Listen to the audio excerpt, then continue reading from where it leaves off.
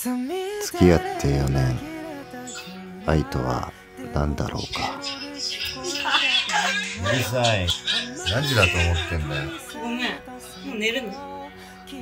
じゃあうちイヤホンつける。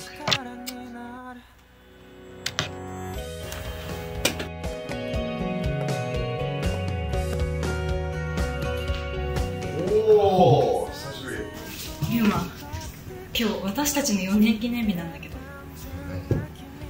もう4年目だし人多い方が楽しい。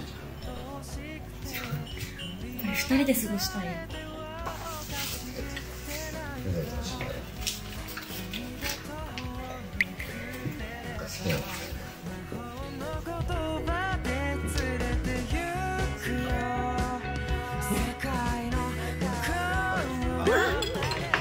大丈